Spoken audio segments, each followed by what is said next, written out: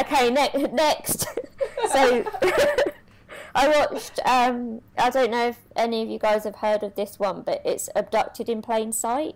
No. Nope. Ah, okay, it's another Oh, Netflix here we one. go. What? Strap it. No, no, no. Like because I know what's about to come, and it's just I'm not going to go into so too much. bonkers. Yeah, Yeah. I'm not. I don't want to give anything away because it is a. It's so wild. Like, It, the thing is, I think you almost could because it almost. No, I don't want to spoil all the twists No, and no, I. I know, but I'm just saying, like, you almost could because it is so out there that people just wouldn't believe it. Yeah. So basically, it's a documentary about a girl who was abducted when she was 11 and she was taken by a family friend. So they were, like, the two families were really, really close. The dad was best friends with this guy, the mum was best friends with his partner, blah, blah, blah. And the guy becomes, like, obsessed with this little girl and then he abducts her.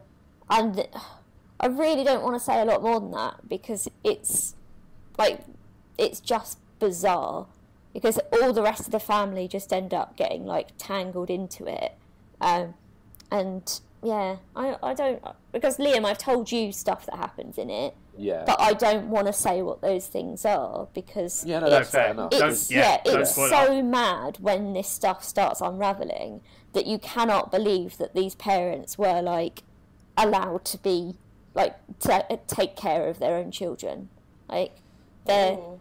they're tangled in it in very weird ways that yeah it just watch it because it's another one of those it's a little bit more like complex than the ted bundy one um, because there are all these different things that start happening throughout so it's got a lot more sort of twists and turns than than the ted bundy one um, but yeah it's just it's totally like I, I still see people tweeting about it now yeah. being like, I can't believe this just happened. I can't believe that. So I try and avoid any spoilers of it Yeah. and just watch and tell me what you thought of it because it's crazy, basically. I'll give it a watch. Yeah. I like all that I'm gonna true add crime that shit. to my list. Out of five.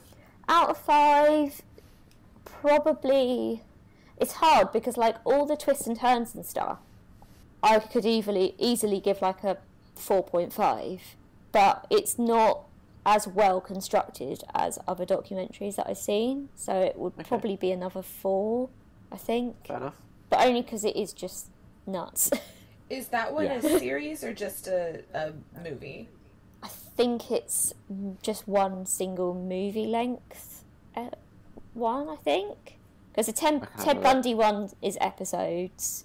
Yeah, I think this one's just like a one off because I think that's why I sat and watched it. Yeah, it's an hour and a half. Yeah, I like that because you did this when you had a flu cat. Your brain is like, yeah. was it? Was it one hour or was this I days? don't remember. I can't remember if during that, because during the Ted Bundy one, I think I basically managed to watch it in like a day, but Yeah. with like flu fueled naps in between. Because you get to a point where you're like, oh, this is a bit too heavy, I need to have a little nap. And then you'd wake up and you'd be like, right, I'm, I'm back into it again. I think there's like six episodes of the Ted Bundy one, something like that. It's and they're all about 45, 50 minutes, I think. So it's quite a lot to watch, Yeah. but it's worth it. Yeah.